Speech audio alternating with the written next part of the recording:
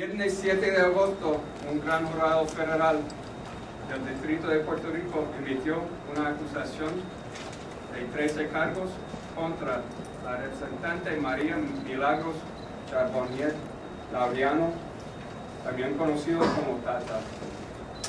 Su esposo, Orlando Montes Rivera, su hijo, Orlando Gabriel Montes Charbonnier, conocido como Gaby, y Frances Acevedo Ceballos, asistente de Charbonnier. Acevedo ha trabajado en la oficina de Charbonnier en la Cámara de Representantes o en representación del comité de la Cámara presidido por Charbonnier desde 2013. Los cargos alegados en la acusación contra los cuatro acusados son los siguientes. Conspiración, robo de fondos federales, sobornos y comisiones ilegales, también conocido como kickbacks, y fraude electrónico de servicios honestos. Charbonnier, su esposo y su hijo enfrentan dos cargos de lavado de dinero.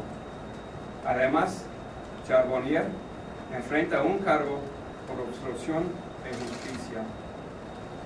El esquema, esquema corrupto al que los acusados acordaron no era muy complicado.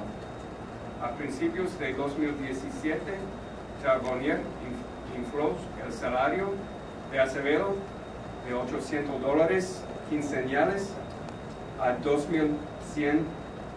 Esta cantidad aumentó a casi 2.900 en septiembre de 2019. De cada cheque del salario inflado, Acevedo acordó que se caería con una parte y le pagaría una comisión de entre mil dólares y mil quinientos dólares a Charbonnier, su esposo y hijo. Hasta julio de 2020, Charbonnier había recibido por lo menos 100 mil dólares en sobornos y comisiones ilegales de este esquema.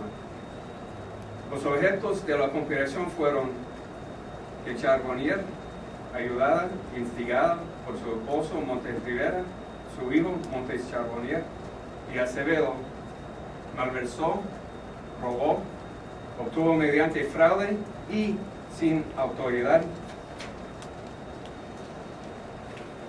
aplicó indebidamente propiedad que pertenecía al Estado Libre Asociado de Puerto Rico.